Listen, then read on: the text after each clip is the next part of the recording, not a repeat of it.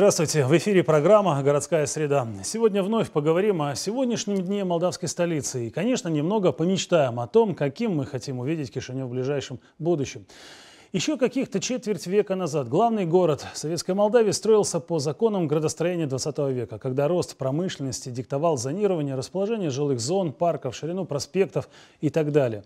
27 лет своей государственности – мы потратили на удушение той самой промышленности, которая, по сути, являлась градообразующей. Того у нас сегодня такой массовый отток. Население из районных центров, там практически не осталось заводов, не осталось в стороне от этих процессов и столица. Но, как известно, природа не терпит суеты. Градообразующими элементами сегодня стали банки, аптеки, церкви и множество торговых объектов. В 21 столетии эта тенденция, похоже, будет только развиваться о сегодняшнем э, дне Кишинева, о том, может ли он стать городом мечты, с чем сегодня сталкиваются кишиневцы, поговорим с нашим гостем, муниципальным советником от партии социалистов Александром Одинцовым. Здравствуйте. Здравствуйте. Начнем с мечты. Предлагаю сразу так вот э, заинтриговать э, зрителя. Вы принимали участие в работе разных урбанистических форумов. Исходя из опыта общения с коллегами, общения с теми, кто диктует градостроительную моду, кто планирует, как развива... должны и могут развиваться города.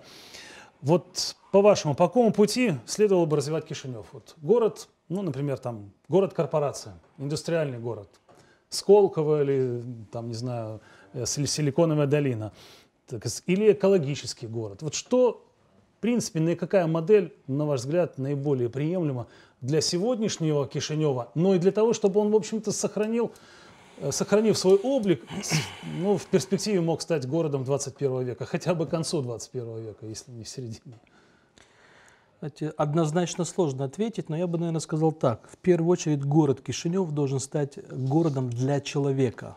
Потому что в данный в настоящий момент у нас, к сожалению, город для торговых комплексов, для автомобилей – для непонятных уродских э, автозаправок. Для автомобилей, мне тоже кажется, громко сказано. У нас такие, в общем-то, ужасные автомобильные ну, У нас преимущество, у нас почему-то преимущество, вот эти попытки внедрения парковок, э, преимущество дается автомобилю. А во всем мире и все урбанистические форумы мира, и наши посещения московских урбанистических форумов и этого года, и прошлого, и позапрошлых годов – показывает мировая тенденция идет следующим образом. Сначала город должен предоставлять приоритет, преимущество пешеходу, человеку, для того, чтобы человеку было приятно прогуливаться по своему городу.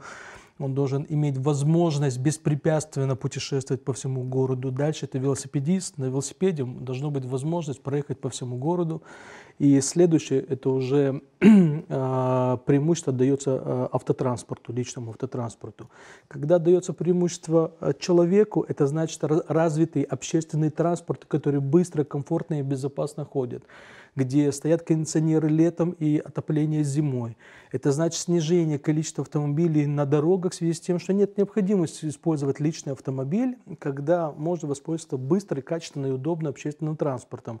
Это значит развитие зеленых зон, это значит развитие пешеходных э, зон, тротуаров, где можно также разместить э, какие-либо терраски, кафе, выставочные уличные комплексы, продажа э, картин, каких-то изобразительных искусств и так далее.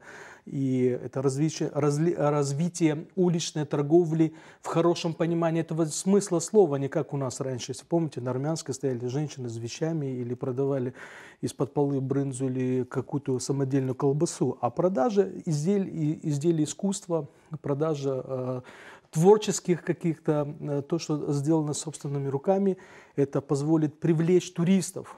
И когда а, общественный транспорт а, удобно ходит, когда тротуары свободны, это больше пространства, больше зелени, тогда город удобен, комфортен, и тогда этот город, а задача городов, вот одна из последних, вот последний московский урбанистический форум, задача городов конкурировать между собой за талантливых людей. Почему? Потому что талантливый человек, он может производить продукты, зарабатывать деньги, соответственно, уплачивать налоги.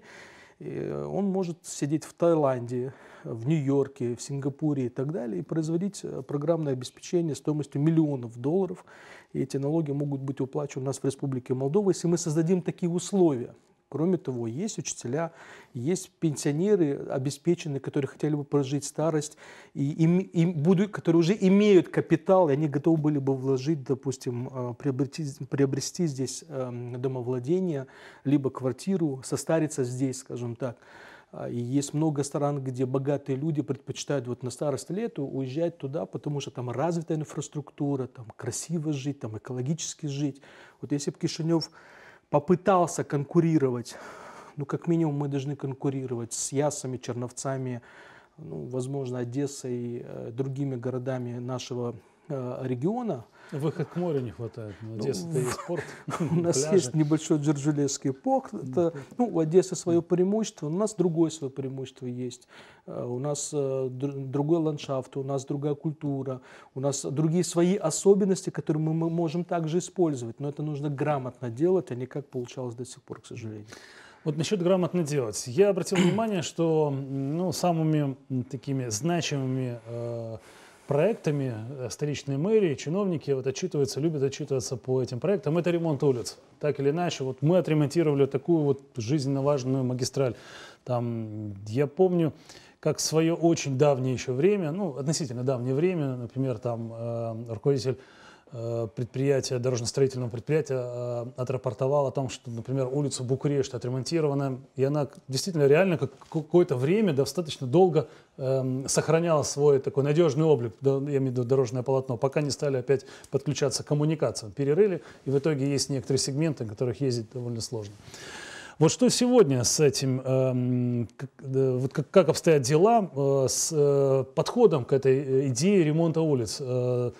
Э, Удается ли реально качественно потратить городские средства на то, чтобы, например, отремонтировав раз, там, не знаю, в 10-20 лет э, тот или иной сегмент эм, э, улицы или там дорожного покрытия, больше не возвращаться знаете, к этому участку? Знаете, когда я задал вопрос одному дорожнику, вот как, какова самая качественно отремонтированная улица, он сказал, что это Штефана Челмари, ну, бывшая улица Ленина, причем в момент, когда должен был сюда приехать Брежнев, если вы помните, это я уже забыл какой год, э, когда он приезжал, будучи уже генсеком, вот Штефана Чалмари, после, э, ну, бывшую улицу помню, Ленина... Что в 1984 году был, э, Там, был 70... юбилей э, республики э, МССР, но не Брежнев приезжал, приезжал кто-то, либо вот Гришин из э, московского не, Брежнев, э, я забыл года какие, он был, раньше, вот, да. он был значительно раньше, mm-hmm. но вот именно в этот период для приезда Брежнева отремонтировали центральную улицу, тогда бывшая улица Ленина, сейчас Штефана Челмари. С тех пор ее более 20 лет к ней даже не прикасались, настолько качественный ремонт был, потому что генсек э, СССР приезжает и не дай бог что-то увидеть, тем более он был здесь какое-то время, э, тоже правил, знает, что такое Кишинев, и ему просто глаза не замылил. А, к сожалению, сейчас ремонты проводятся, но вот Кишинев потратил достаточно значительную сумму на ямочные ремонты. И что мы видим? Мы видим ну, э, Мы я... видим желание на лицах кишиневцев, желание, э, чтобы генсек Брежнев еще раз посетил. Да, еще раз, причем желательно по разным улицам проехался для того, чтобы, да, для того, чтобы отремонтировать эти улицы. Ну, я был свидетелем, как ремонтировали улицу ямочно с помощью э, вот управления транспорта Эксдрупа приобретала, вернее, брала в аренду у частной фирмы э, битумной смесью под прессом э, впрессовывают в эти ямки. Это интересная схема ремонта. Потрачено было ну, горячую куча, смесь. Горячую смесь, да. Потрачено было кучу денег на 31 августа, и сейчас мы видим что? Мы видим, что 31 августа капитально заменяют у нас э, сети коммунальные, то есть А для чего ремонтировать эту улицу было? Для чего было тратить деньги? Албишара, даже попытки, то есть была попытка ямочного ремонта, но это Албишар у нас просто в ужасном состоянии находится. Каждый водитель ну, тест для ходовой части. Да, в тест для ходовой да, части. Вот узнать, это здесь покуп... можно немцам, немцам заказать. Вы прокатитесь да. туда пару раз для того, Хочется чтобы определить... раз порекомендовать всем, кто покупает э, поддержанный или новый автомобиль, сделайте тест по улице, и вы сразу поймете все недостатки. Самое главное, что ремонт машины. улиц делается не э, там, где нужно. Понятно, что отремонтировать, тут задача отремонтировать все улицы. Все улицы отремонтировать невозможно, но надо хотя бы отремонтировать, то есть вдуманно отремонтировать улицы, те, которые позволят разгрузить трафик э, в городе межрайона. Но это в первую очередь улица Албишара, Табачный круг, Измайловская, А, я не говорю о том, что вообще развязки у нас э, больше 15 лет, 20 лет у нас нет комплексного подхода к строительству транспортных развязок. Просто их никто ничего не делает. Более того, а все мосты в аварийном состоянии. Мы об этом уже обсуждали у вас на передаче. Их также никто пока не собирается ничего с этими мостами делать. Вот недавно приезжали а, гости из Питера. Это фирма а плюс С – это фирма уже российская, но раньше это был филиал немецкой фирмы, которая занимается в области исследования в области транспортного планирования.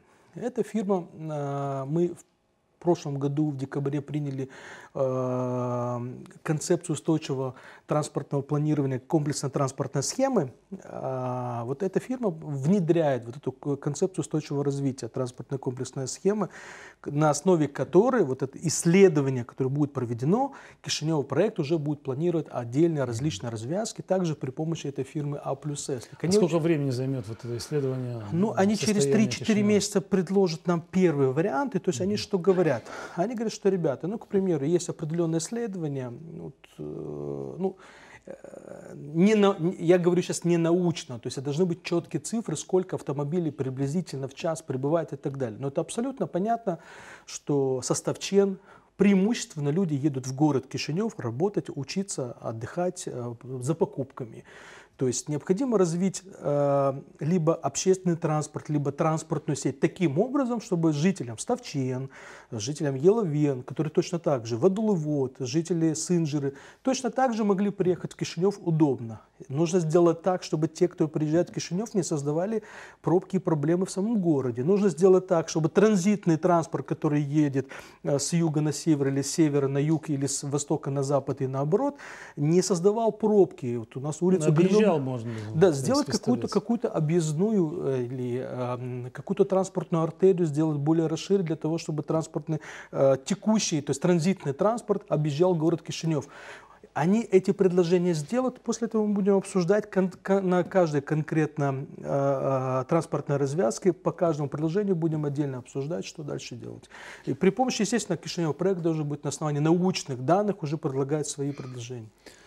Ну, я надеюсь, что эти ребята достаточно профессионально подготовлены. Честно говоря, столкнуться или они столкнулись уже с проблемами, которые нам достались наследство от предыдущего мэрства Дарина Киртака, который, как мне кажется, с детства, вот и мое личное убеждение почему-то вот сложилось наблюдая за его профессиональной деятельностью, что с детства любил плести макраме. И, в общем-то, ему этого не хватало, и он тут наплел этого макраме на наших авторазвязках. Да, в общем-то, Знаете, вместо того, чтобы развязать транспортный узел, ему, у него получилось завязать транспортный узел. Ну, если вы помните, когда в бытность Дарина Киртаки, а я, вот у нас недавно случилось очередное чудо молдавской политики и молдавской юстиции, когда в Европе такое, это ну, как страшный сон. Как говорил не... Андриан Кантов, в Европе это было бы невозможно. Да, в Европе это было бы невозможно, чтобы э, чиновник, бывший чиновник, который находится под уголовным преследованием, неважно каким и так далее, э, то, что коррупционная составляющая у него есть, и у него есть куча грехов, это понятно. Во-первых, он был освобожден от судебного преследования, и он может спокойно сейчас покинуть. Во-вторых, он становится председателем либеральной партии. Ну, это верх абсурда молдавской политики, то есть я, я не знаю, как тут даже комментировать. Если опять же вспомнить, например, бывшего премьера э, Филата, он же говорил там о каком-то нескольких сотнях количествах уголовных дел, заведенных на племянника э, Михаила 600 Гимку. Да, 600. Дел, да, 600 ну, наверное, это и дает дел. возможность получить статус председателя ну, партии. наверное, перед выборами он стал нужен, и поэтому ему, ему дали возможность опять каким-то образом развиваться, собирать голоса. А, но вопрос не в этом. Эти ребята вот с фирмы А плюс С достаточно профессиональные. Надо сказать, к примеру, они сейчас занимаются транспортной э, комплексной схемой Баку. Они занимались транспортной схемой и продолжают заниматься комплексной схемой э, Москвы. И они предложили мониторинг э, всей комплексной схемы. Ну, к примеру, у них есть единый центр управления транспортом Москвы. То есть на наличие датчиков, счетчиков, э, количество автомобилей, въезжающих по определенной развязке. Если они видят, что это перегруженная развязка, ну, во-первых, идет информация, у них в основном Яндексом пользуются, идет информация в Яндексе, и водитель автоматом видит на своих планшетах, телефонах о пробке на этой развязке они перенастраиваются другую. Во-вторых, идет перенастройка светофоров, а также идет сразу регулировка с помощью полиции, которая у нас, к сожалению, вот недавно мы изредка видим регулировку на дорогах, но остальные меры у нас не принимаются. Это должно быть, это научно, у них на, на основе научных разработок сделано раз, у них автоматизированная система 2, и всегда можно вмешаться для того, чтобы улучшить транспортную составляющую. И вот эти ребята абсолютно профессиональные, вот они помогают сейчас нам, Кишиневу, реализовать вот эту вот концепцию, которая будет уже утверждена в комплексной транспортной схеме. Надеюсь, что она будет потом реализовываться, а не просто останется на бумаге, как это было при Дарине Киртуаке. Ну, то, что у них в портфолио есть город Баку, это, наверное, действительно э, ну, делает им, э, в общем-то, честь. Потому что не так давно я был в Баку и смог сравнить город. Ну, вот последний раз перед, этим, э, перед этой поездкой я был 10 лет назад. Э, в отношении транспортных развязок ну, кардинально поменялся город. Э, город, транспорт, то есть города живет в несколько этажей. То есть буквально есть многоуровневые развязки, и э, пробки я видел только разве что в национальный праздник, там Курбан-Байрам, ну, и то это было вызвано больше любопытством водителей, чем необходимостью стоять на дороге. И э, ну, я получил удовольствие, передвигаясь по неделю, э, прожив в Баку, передвигаясь на машине по городу, я ну, ощутил ну, современность, современный дух Баку. Мы, к сожалению, далеко от Баку и от Москвы, э, во-первых, как по правильности подхода к развитию города, к нормальному логичному мышлению э, два, ну и, разумеется, бюджету три. У них доход от нефти, на Баку, насколько я понимаю, больше 30 миллиардов. И выход к морю, опять же. И выход к морю. Но вопрос не в этом. А вот мы, когда задавали вопрос этим ребятам, это Александр Бекер и э, его коллега, забыл, как зовут. Сергей Блакитный. Сергей, Сергей Блакитный, прошу прощения. Мы задали вопрос, ребят, ну, мы достаточно, как бы, ну, давайте прямо говорить, мы нищий город, у нас мало, 4 миллиарда леев, это для такого города это очень мизерная сумма бюджета. А, вот, вот что вы можете предложить? Он говорит, вы знаете, мы на основе изученных, полученных данных, статистики, изучения, аналитики и так далее, мы готовы предложить на ваши деньги, к примеру. Если вы богатый город, мы вам предложим трехуровневую развязку и так далее. Монорельсы вас, и метро подземное. Да, монорельсы, метро.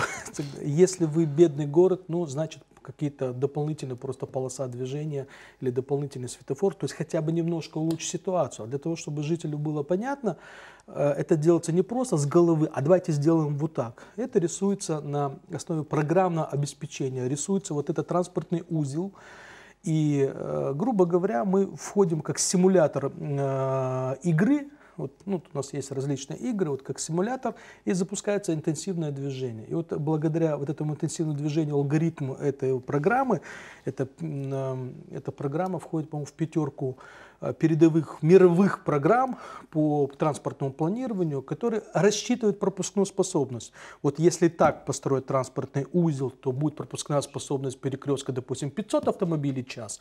А если мы добавим еще один узел или дополнительный светофор, или уберем светофор, или сделаем дополнительный радиальный разворот, то это позволит э, раз, э, транспортному потоку 700 автомобилей в час приблизительно. Вот. И они нам скажут, ребята, вот выбирайте, на какие деньги есть, что вы можете сделать. Вот, а табачку, мы обращали внимание на табачную развязку, Конечно, надо будет отдельно подсчитывать. Вот каждый транспортный узел будет отдельно вот таким образом научно подсчитывать. И уже задача той администрации, которая, я надеюсь, что будет все-таки разумная администрация в следующем году, у нас в следующем году и местные выборы, кроме парламентов, а, будет заниматься уже конкретной реализацией транспортных э, развязок, для того, чтобы городу было удобно и комфортно развиваться.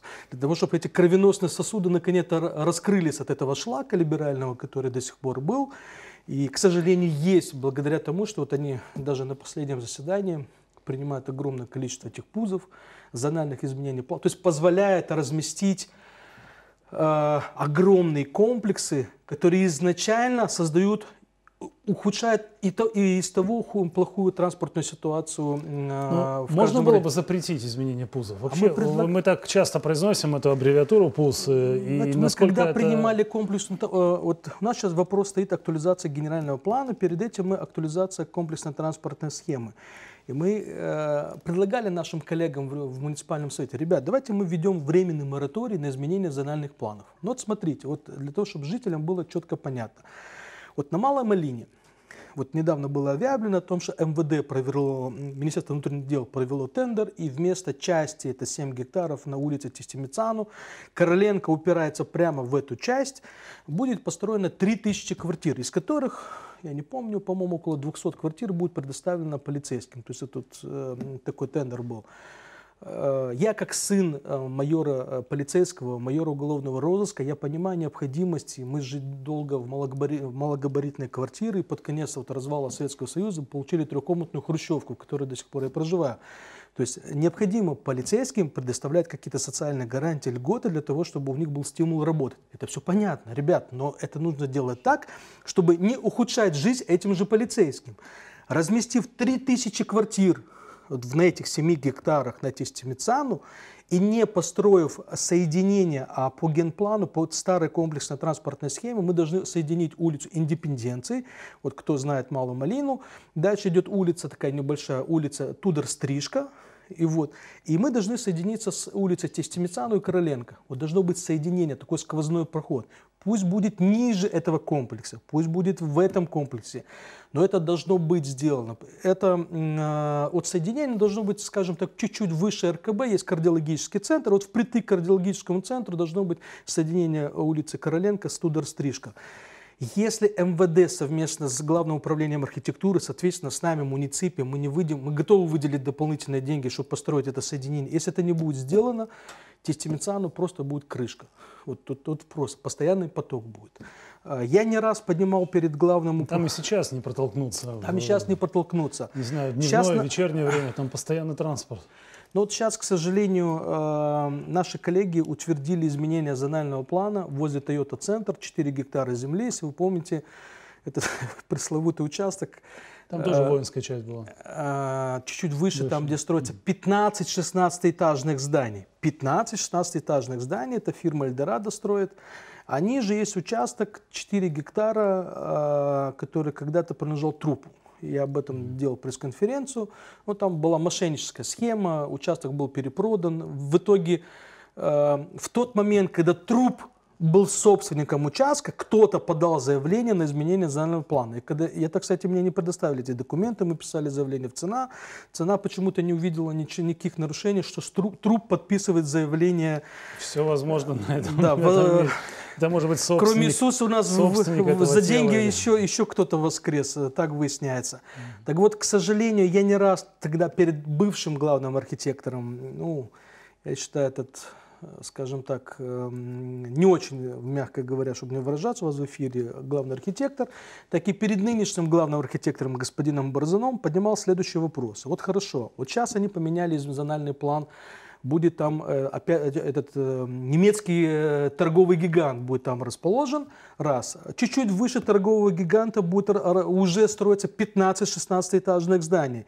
А, выше Toyota центра это улица академи, академика Наталья Георгиев, которая соединяется с Тестимицану. Она же узенькая, раз. А во-вторых, она плохо обустроена, два. Я говорю, ребята, а как люди будут ездить? Вот ну вы, вы вообще эм, вы с ума сошли? Вот по-другому им невозможно назвать. Гларинал у нас с левой стороны построен, так рядом с Глариналом будет, э, они пытаются сейчас утвердить еще один строительный комплекс, который господин Унтила, кстати, строит. Он, видимо, в счетной палате заработал много денег и позволяет, есть возможность строить э, э, жилищные, э, огромные жилищные комплексы. Я думаю, это исключительное желание помочь городу. Ну, возможно. Ну, вопрос не в этом. Вопрос, когда я своим коллегам в муниципальном совете говорю, ребята, неужели, поднимая руку за какой-то зональный план, а мы, фракция социалистов, мы за изменение этих зональных планов, мы не голосуем, более того, мы подаем в суд на аннулирование этих зональных планов, потому что мы считаем, что наши коллеги ошибаются. А ошибаются почему? Потому что нет транспортного расчета. А когда нет транспортного расчета, это мы превращаем Малую Малину или другой микрорайон в тупик, полностью транспортный коллапс. Изначально создаем, это изначально выстрелить себе в ногу или напиться яду, э, подразумеваю э, необходимость выздороветь. Ну, так, это же невозможно, нелогично. И вот, к сожалению, тут э, пусть все-таки по этому торговому гиганту немецкому был утвержден, однако я ранее писал заявление главному архитектору, неоднократно к нему обращался, в Кишинев, в Кишинев проект писал заявление. Вот все-таки этот торговый гигант, плюс э, рядом э, строительные фирмы, которые строят жилые комплексы, все-таки улица Наталья Георгиева, вот благодаря моей настойчивости, она будет расширена. И вот это хоть как-то, может быть, чуть-чуть, но все-таки ослабит вот эту транспортную составляющую, транспортный коллапс на Малой Малине, э, немножко ослабит. Кроме того, э, будет построен э, соединение с улицы Мелистил под виадуком. К сожалению, это соединение должно выходить на улицу Тестимицану, однако благодаря тому, что когда-то муниципальные советники продали там участки и там построены частные коттеджи, к сожалению, это соединение невозможно. Также есть и другие комплексы. Ну, знают ли жители, э, недавно прошли публичные слушания, я, к сожалению, не мог на них участвовать. Э, вот бывший завод Вибро, вот, понимаете, вот там не нужно э, промышленность, вот быв, вместо бывшего завода Виброприбор будет построено огромное количество, на 10 гектарах, э, да. чуть напротив ЖД вокзала будет построен огромный жилой комплекс. Говорить о том, что в район ЖД вокзала, который сейчас проблематичен с точки зрения транспорта, там будет еще больше проблем, это абсолютно очевидно. Почему Примария идет на поводу, это абсолютно понятно, о том, что у нас, к сожалению, Примария не, являет, не имеет своей воли, а Примария не имеет собственной логики, они лишь обслуживают интересы мафии мобиляри или вот этих крупных строительных компаний, и, к сожалению, подчиняются только им. Вот опыт Московского урбанистического форума, а я задавал вице-мэру Лондона вот такой вопрос. Мы задавали другим э, чиновникам из различных городов точно такой же вопрос. Вот как вы с этим справляетесь? Ответ был относительно гениальным и простым. Вы знаете, задача администрации города быть медиатором между экономическими агентами и жителями. Нужно создать так условия, чтобы и развивался экономический агент, но жители были довольны. Тогда и квартиры у экономического агента будут продаваться. Но инфраструктура, благодаря тому, что администрация заставит экономического агента эту инфраструктуру сделать, она будет на пользу жителям всем идти. И тогда все будут довольны. И более того, у экономических агентов, которые Э, скажем так, благосклонны к городу, прислушиваются к мнению жителей, они идут в нахалку, вот как было на Демо 7 дробь 3, вот недавно попытка строительства, и слава богу, было остановлено, это расследование наше было, все равно выдали авторизацию, вот мы пытались аннулировать это решение, а, тогда будет город развиваться. А у нас город, знаете, как у нас, эм, как высказался один наш коллега, к сожалению, администрация города и муниципальный совет – это вечная отдавалка. Вот как не попросят, они всегда говорят «да, да, да», всегда голосуют «да». Мы, фракция социалистов, за такие вопросы не голосуем, потому ну, что надо сначала навести порядок. Насчет вашей характеристики э, чиновников, э, хочу сказать, что ничего, мне кажется, бесплатно не бывает, потому что это не благотворительность. Это, это, это абсолютно понятно, что бесплатно не бывает. Понимаете, и самая, самая большая беда, вот э, сегодня вышла статья, что на Украине – или в Украине, ну, как правильно говорить. Смотря с кем разговаривать. Да, смотря с кем разговаривать. В, на Украине, э, чтобы никто не обижался, а, было принято заморозить все строительства в Одессе в связи со скандалом. А там, к сожалению, как и у нас, если у нас нанимают там, кто у нас там, Беркут и другие э, ЧОПы, так называемые охранные агентства, то там нанимают батальон Азов, э, там нанимают э, тех, кто участвовали в боевых действиях для охраны э, или тетушек, так называемых, для охраны этих незаконных строительств против граждан. Ну, правда, там граждане, я удивляюсь их гражданской активностью, там, скорее всего, тоже, э, когда видно, что 200 молодых ребят спортивного телосложения, ну, вряд ли они похожи на гражданских активистов, скорее всего, похожи на какой-то заказ. Но суть не в этом. Суть в том, что Генеральная прокуратура потребовала остановить все строительства в Одессе для того и проверить законность всех строительств. И мне на это, вот на, э, я разместил этот, и нам Просто в ленте у себя, да? В себя в ленте. И мне бывший прокурор города господин Дьяков э, пишет, что это невозможно связи с тем, что муниципальные советники совместно с прокуратурой и совместно с судебной системой, к сожалению, вот позволяли э, строить квартиры по низкой цене, и в этом господин Дьяков прав, потому что он сам, как бывший прокурор, ему, знает, наверное, о чем говорит. он знает, о чем говорит, да, вот как бывший прокурор города, но, к сожалению, вот судебная система, а он абсолютно в этом прав. Я не знаю, насколько он глубоко это все знает, и э, судебная система идет на руку застройщикам. Абсолютно противоречив, э, вот, есть закон, Вот принимается абсолютно незаконное решение, и, к сожалению, когда мы пишем в ЦЕНА, в Генеральную прокуратуру, для того, чтобы разобраться с определенными строительствами, в 99% случаев судебная система и надзорные органы, правоохранительные органы идут на стороне застройщиков. То есть они не находят ничего преступного в, в том, что исчез еще очередной гектар земли? Вы понимаете, у города было украдено больше 50 участков. Вот я обратился к одному, ну, я муниципальный советник, пока ношу статус, э, э, обратился к нашему депутату сделать запрос. Вот почему? Вот на Зеленского мы установили возле дома 30, э, на улице Трандафирова возле дома 33 2 мы установили площадку, причем площадку, детскую площадку, установили на основании плана размещения, который нам дала притура. Мы не просто так, а, а давайте вот тут поставим. Нам притура дала. А мы э, район, где мы э, предполагали разместить Э, выбрали на основании э, подписей, собранных жильцами и обращения жильцов к нам, и на основании плана разместили. Прибежали сразу два непонятных кадра, которые сказали, ребята, вы знаете, это наш частный участок.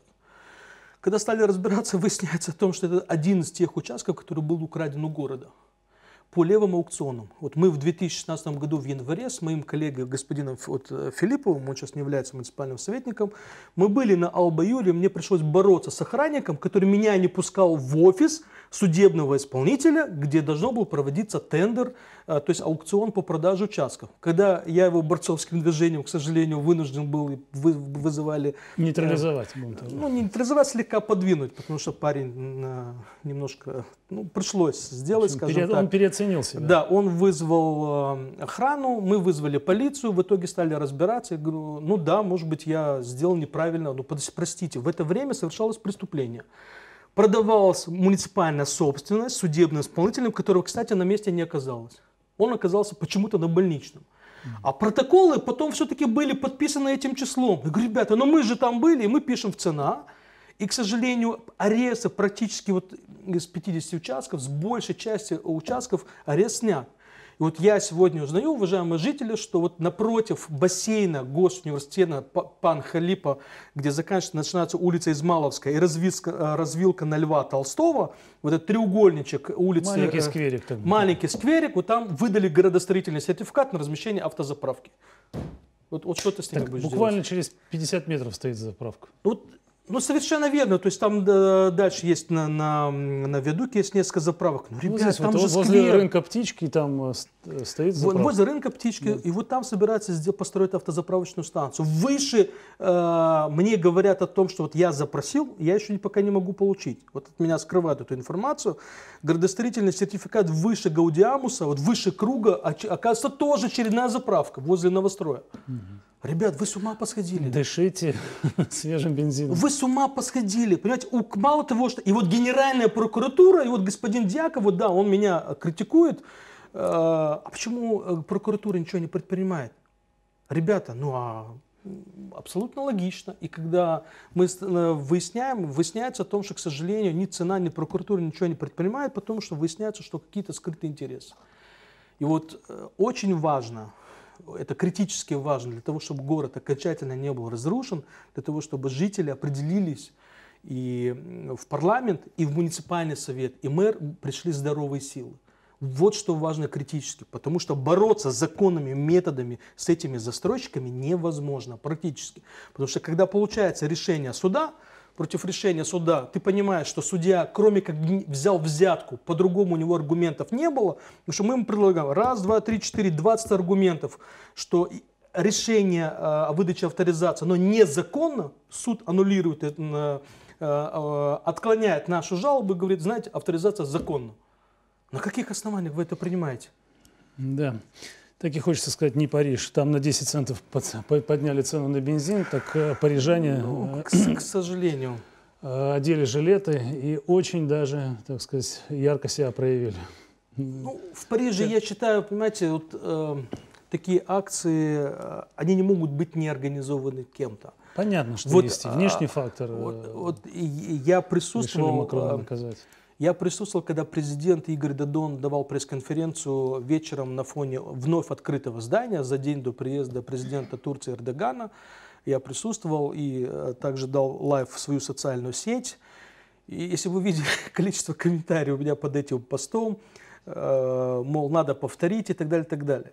То есть президент за внебюджетные деньги ремонтируют здания, которые эти вандалы, эти варвары, эти уроды, по-другому их не могу назвать, разрушили здания, и на здание парламента из бюджета была потрачена огромная сумма денег, а на ремонт президентуры не было потрачено бюджетных денег. Мы виноваты, мы плохие. Вот какая логика в этом?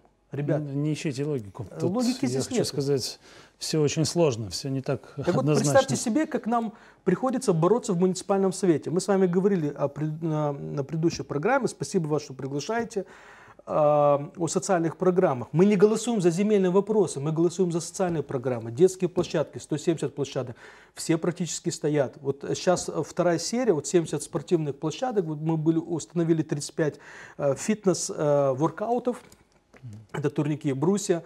Пришлось мне вспомнить мою былую спортивную форму, поджиматься от брусьев. Мне там... Брусья выдержали?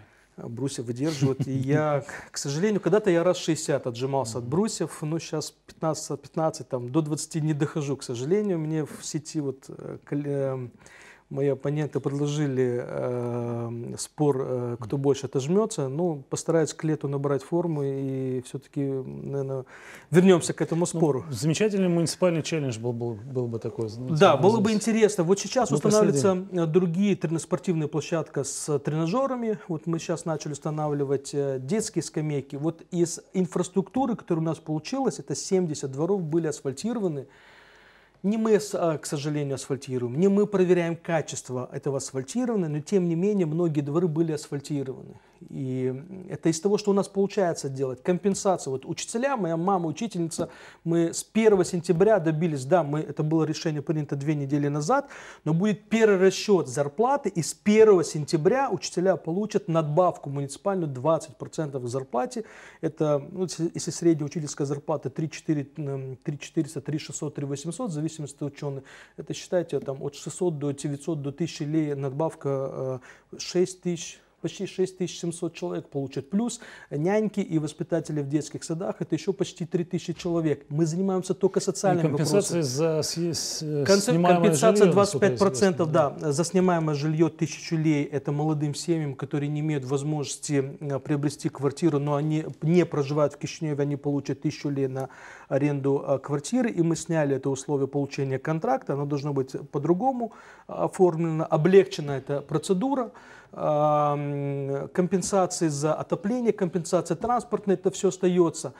Что у нас получается еще сделать? Тут я сейчас добился, а, к нам неоднократно обращались улицы бывшие Пугачева, сейчас Пандурилур, э, ну, ужасно разбитая улица. Вот э, эта улица сейчас внесена в списки капитального ремонта на 2019 год. Э, в управлении транспорта вот я добился, чтобы эту улицу включили.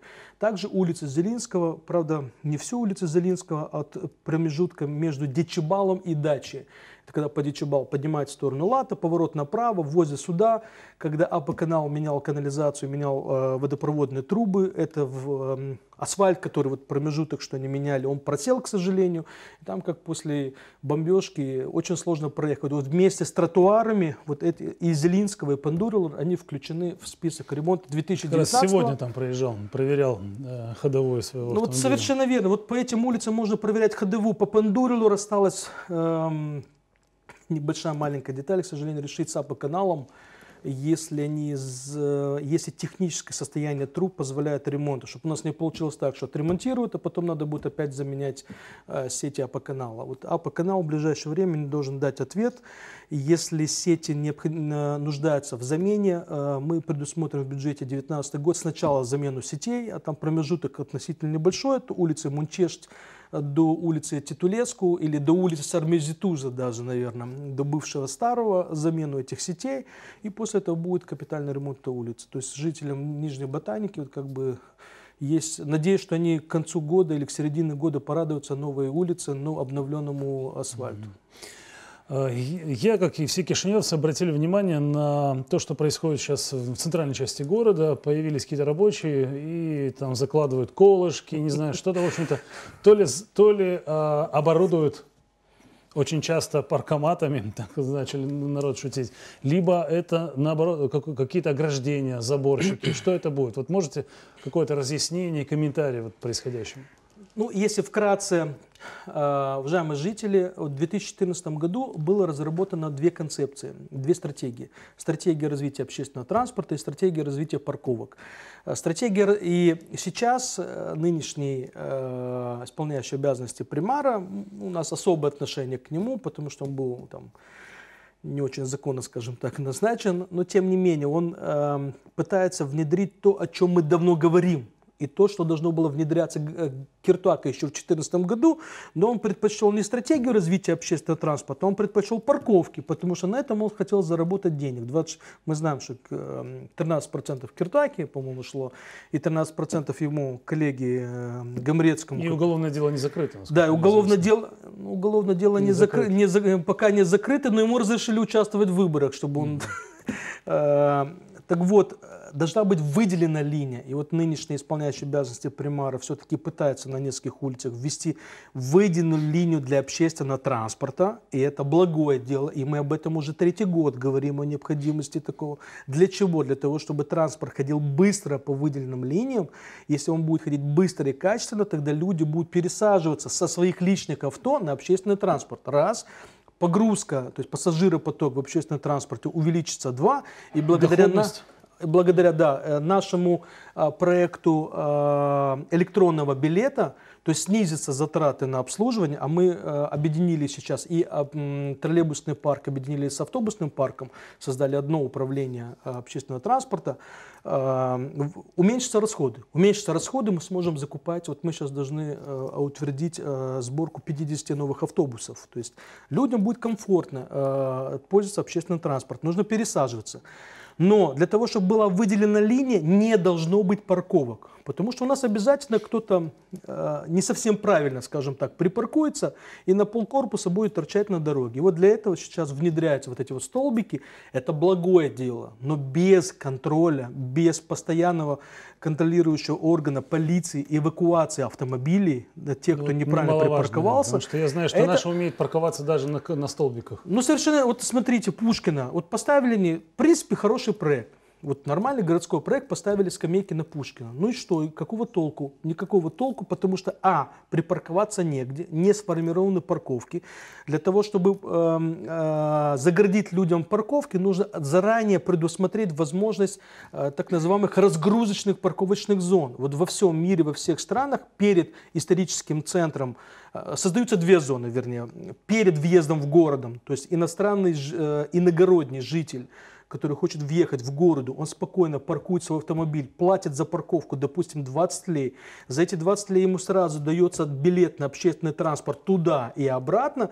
Ему нет необходимости использовать свой личный автомобиль. Он и в итоге освобождается, то есть уменьшается нагрузка на транспорт. И вот при въезде в город, ну, к примеру, э, в центральную часть, ну, к примеру, в районе госуниверситета, в районе мединститута, в районе цирка и в районе э, памятника Котовского возле ЖД должна быть разгрузочная э, парковка для тех, кто собирается въехать в историческую зону центра. Тогда точно так же у нас исторический центр разгрузится. Почему? Потому что есть возможность пользоваться общественным транспортом, который быстро, удобно по выделенной линии будет ездить и не будет парковок. Но люди заранее об этом должны знать. А не так, они будут ездить, нарезать круги, в поисках искать парковки, место. да, искать себе место. В итоге он поставит раком, простите, э, боком. боком, поставит непонятно где, будет нарушать правила дорожного движения. Полиции у нас никогда не дозвонишь, они не, на Вайбер они не реагируют. Ну толку, что ты на Вайбер, все равно машина у него стоит там. Э, эвакуаторов у нас пока нету, регламент вот в правительстве недавно был одобрен, но пока это не работает. То есть в итоге эта система без нормального контроля и без нормального мониторинга, она работать не будет. Но это полезная идея, о которой мы говорим уже три года.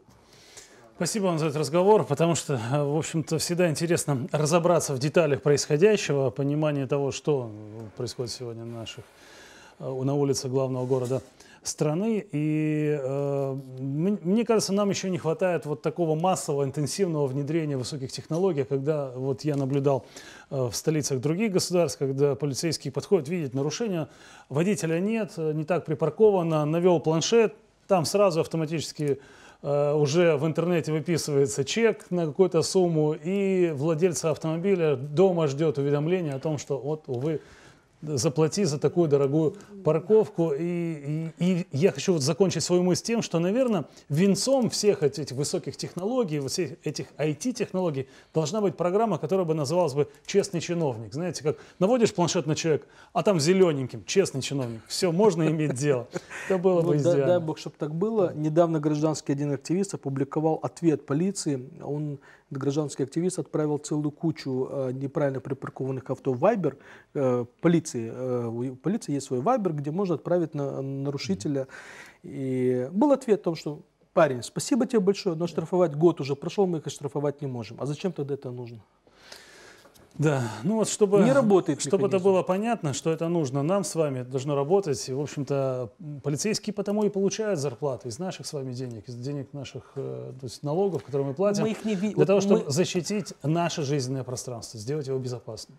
Ну, дай бог, чтобы так оно и было. Но опять, без э, четкого видения развития как страны, так и города, к сожалению, порядка не будет. А вот четким видением страны должна, должны заниматься те силы, те нормальные, здоровые силы, которые придут к власти. Это понятно, у нас предвыборный вопрос, предвыборный период. Однако я вот прошу жителей обратить внимание, кто как работал. Нам удалось внедрить э, в этот му- муниципальный совет э, периода 2015-2019, мандат заканчивается в июне, онлайн-трансляции голосования как муниципального совета, так и заседания всех комиссий, и видно, кто как, каким образом голосует. Фракция социалистов голосует только за социальные проекты, за социальные вопросы, за земельные проекты, пузы и так далее. Мы не голосуем, и вот мы просим жителей обратить на это внимание. Мы за развитие города, за нормальное развитие города. Город должен развиваться для человека, для пешехода и быть зеленым и комфортным, удобным для жизни. Спасибо вам. Ну, чтобы полицейские уже не обижались, и, в общем-то, зная, что вы э, сын э, человека, который, в общем-то, посвятил свою жизнь э, правоохранительной деятельности, хочу сказать, например, выразить некоторый комплимент. Я наблюдаю за тем, как проходят оперативные заседания э, примарии, и обратил внимание, что представитель муниципальной полиции ни разу не приходил с докладом, написанным на бумаге. Он все, все цифры, сколько было дорожно-транспортных происшествий, какие были там, там случаи, не знаю, грабежа или, не дай бог, убийства, далее, все по памяти. То есть он в 6 утра принял доклад, запомнил и все это сказал на Ну, господин, господин Мушук особый профессионал, Да. я к нему проявляю уважение, он постоянно участвует на заседаниях. И во всяком случае, когда нам необходима какая-то информация, либо получение каких-либо данных от полиции, согласование, либо увеличение, вот на праздники у меня поступали жалобы на улице Трандофиллер о непонятных каких-то людях, увеличение э, патрульных э, постовых, он всегда отзывался м, оперативно, быстро, и ну, есть профессионалы в полиции. не бог, день ш- полиции, но тем не были. менее, да. С- День полиции вот 18 ноября. Да, секунду. Спасибо вам за этот разговор. С удовольствием будем вас снова ждать в нашей студии. Спасибо большое. Вы смотрели программу «Городская среда». У нас в гостях был муниципальный советник от партии социалистов Александр Одинцов. Оставайтесь с нами, мы работаем для вас. Thank you.